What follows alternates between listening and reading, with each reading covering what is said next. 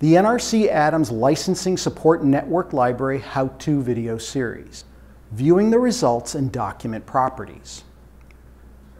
Search results can be viewed in the center section of the LSN library page. They are sorted by relevance, but may be sorted in other ways, including date, document type, and title.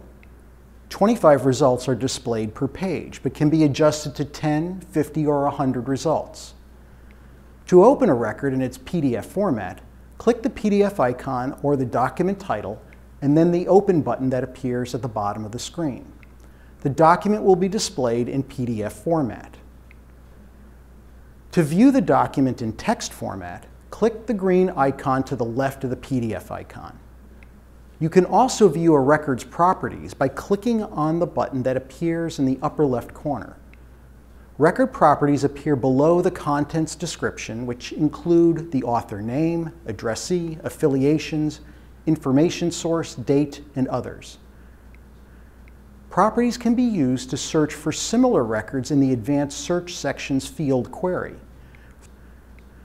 For more information, see the video on advanced searches.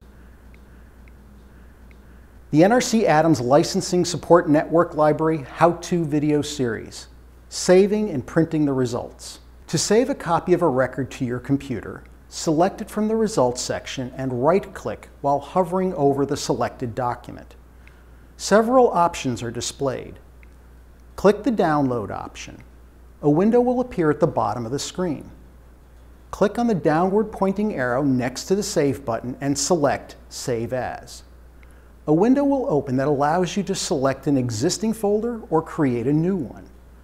Select the desired folder, then click Save to save the record. To print a document, first open it by clicking on the PDF symbol or title. Click Open and then click on the Print button. Follow the prompts for your printing software.